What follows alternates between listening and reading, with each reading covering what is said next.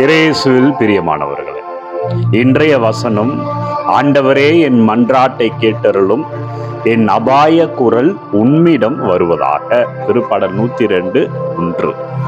ஆண்டவரே என் மன்றாட்டை கேட்டருளும். என்னுடைய அபாய குரல் உன்னிடம் வருவதாக உம்மிடம் வருவதாக. அன்பர்களே இந்த திருப்பாடல் நம்ம எப்பொழுதெல்லாம் பயந்து இருக்கிறோமோ எப்பொழுதெல்லாம் கலக்கத்தில் இருக்கிறோமோ அப்பொழுது ஒரு முறை இந்த திருப்பாடலை வாசித்தாலே நாம் ஆறுதல் பெறுவோம் ஆற்றல் பெறுவோம் ஆண்டவரால் திடப்படுத்தப்படுவோம் என்பதுதான் இந்த திருப்பாடல் நமக்கு தருகிற செய்தி.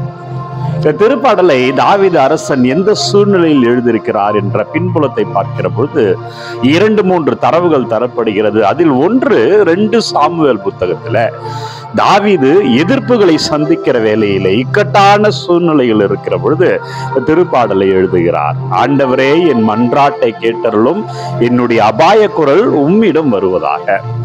எனவே தாவீது அரசரை போல நாமும் துன்ப வேலைகளில ஆண்டவரை கூப்பிடுகிற பொழுது அவர் வருவார் விடுவிப்பார் என்பதுதான் செய்தி.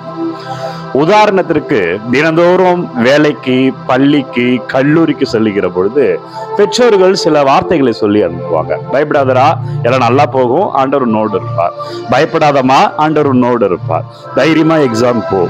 இந்த தேர்வுக்கு போற நல்லபடியா எழுதிட்டு வா. அல்லது இந்த வேலைக்காக போற இந்த இன்டர்வியூ நல்லா பண்ணிட்டு வா என்று சில வார்த்தைகளை திடப்படுத்துகிற வார்த்தையில பயப்படாத உன்னால முடியும். சில வார்த்தைகளை சொல்லி அனுப்புவார்கள். அதை சொல்லுகிற நம்மளது பெற்றோர்கள் வீட்டில் இருக்கிற பெரியவர்கள் எப்பேற்பட்டவர்கள் தெரியாது. அவர்களுடைய வாழ்க்கையில் அவர்கள் ஒரு வேலை பயந்தவர்களாக கூட இருக்கலாம். ஆனால் அவர்கள் சொல்லுகிற வார்த்தை ஒரு திடத்தை கொடுக்கும்.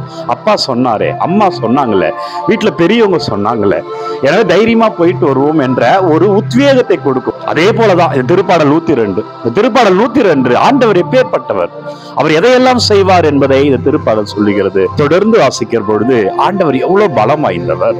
அதை தொடர்ந்து வாசிக்கிற பொழுது ஆண்டவர் எப்படியெல்லாம் நம்மளை காப்பாற்றுவார். அது ஒரு திடத்தை கொடுக்கும். சாதாரண பெற்றோர்கள் சொல்லுகிற வார்த்தையே ஒரு உத்வேகத்தை கொடுக்கிறது.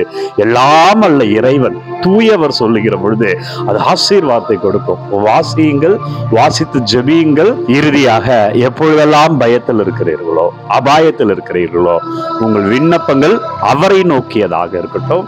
ஆசீர்வாதத்தை நீங்க பார்ப்பீங்க. செவம் தாயும் தந்தையுமான இறைவா இந்த நாளுக்கு நன்றி.